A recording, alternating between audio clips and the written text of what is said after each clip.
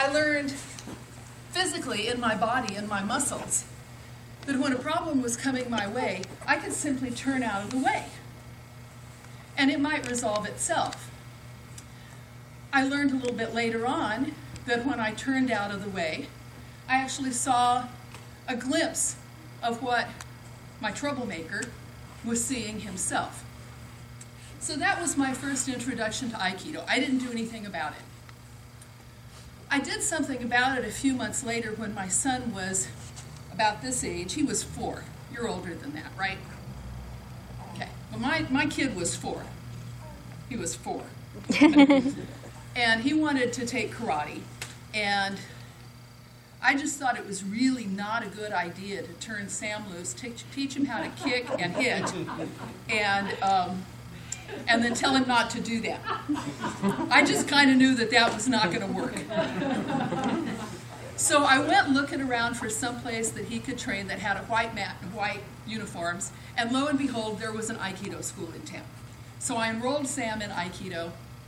I played with Sam on the mat. I very quickly, probably within two weeks, enrolled myself in the adult programs, even though we didn't get to do frog and alligator and, and I learned how to get out of the way. And, uh, but I had a problem. Uh, come back up.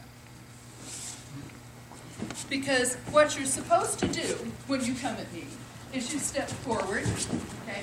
You get out of the way, you step forward, you throw your problem down, you throw them down again, you just keep your movement, feet moving and throw your problem down. Well, that wasn't what I was doing. What I was doing was this, go slow. Okay? And then I'd go, and only one foot was moving. Only one foot was moving. The other foot would not move. I could turn, but I couldn't enter. So I went back to the kids' classes and I started throwing kids. because with kids, it's pretty easy to walk up to them. Okay? It's pretty easy to go, oh no, there you are. And your feet walk up.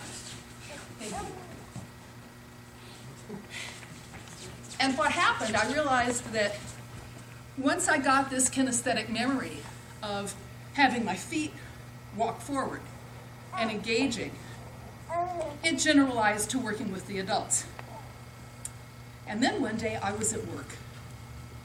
And this was back when we had secretaries and telephones with various lines on them that you punched. And my line lit up and it buzzed and my secretary said, uh, Dave Scatina's on the line for you, and he's really pissed. And I said, oh, okay, put him through. And I picked it up, and I listened to Dave yell. And we saw, you know, we kind of went back and forth, and then we solved the thing. A week later, I'm in Aikido, doing this, right? And I realized, oh, what I did was when Dave called, I entered, I got out of the way, I resolved the problem. And I also realized that if it had been only a few weeks earlier, I would have said, tell him I'm not in, I'll call him back this afternoon.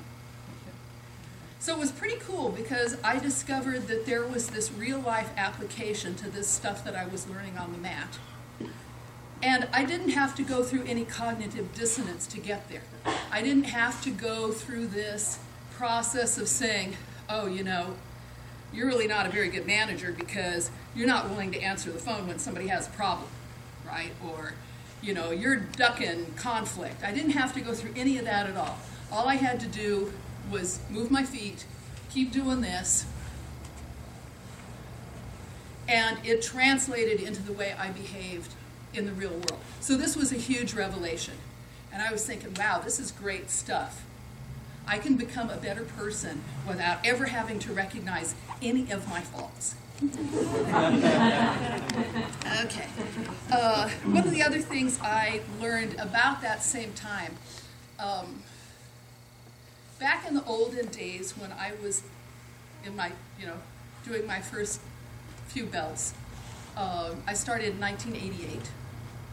uh, our training was not nearly as nuanced as it is now. You were, but the way the rest of us were doing was, was not quite up to par yet. Um, but I spent a, few, a couple of months with, uh, with Larry Mulholland and with Pete Swingle doing this.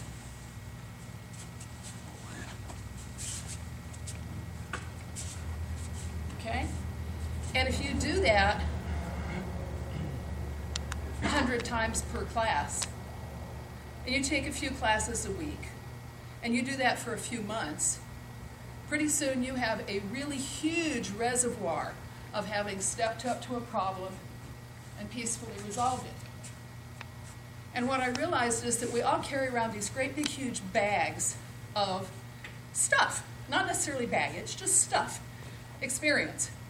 And some of it is experiences that kind of drag behind us, that keep us from moving our feet forward. Okay? So you've got this big bag of stuff. Meanwhile, you're doing this. And every time you do that, you put a new experience into a different bag. And pretty soon you've got your old bag that's sitting on a teeter totter weighing everything down.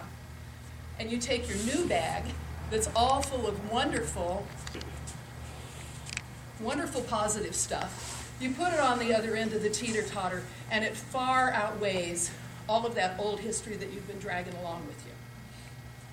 So that's the reason for training in Aikido. Okay.